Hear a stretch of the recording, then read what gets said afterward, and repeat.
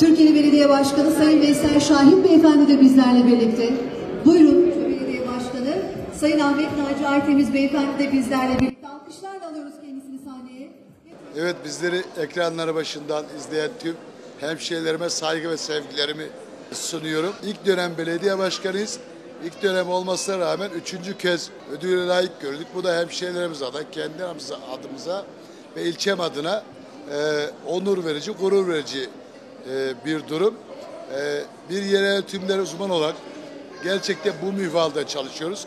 Bundan önce olduğu gibi yani bu süreç gerçekten belediye başkanları için zor bir süreç. Yeni dönem belediye başkanlarımız özellikle hem e, dünyada hem Türkiye'de yaşanan birçok başta pandemi olmak üzere afetler oldu.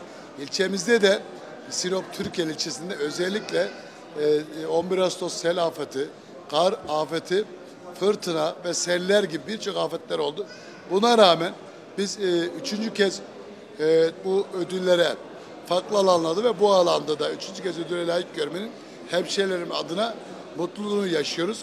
Diyoruz ki tüm ekibimizle, tüm e, e, halkımızla birlikte e, bu minvalde çalışıyoruz. E, durmadan, bıkmadan, yorulmadan e, yine devam edeceğiz. İnşallah e, yine bu biz ekibimiz projelerimizi hazırlıyoruz. Burada da bize projelerin onaylanması ve hayata geçirilmesi adına e, çok büyük katkı destek olan başta tüm e, arkadaşlarıma, çalışma arkadaşlarıma özellikle Sinop milletvekilimiz Doktor Nazım Mavşe'de buradan şükranlarımı arz ediyorum. Yine hemşehrilerimizin heyecanla beklediği birçok ve ilçemizin ve halkımızın kaderini değiştirecek, çehresini değiştirecek projeleri de hayata geçirmek için çalışıyoruz, gayret gösteriyoruz. O müjdeleri de yakın zamanda inşallah başlayacağız.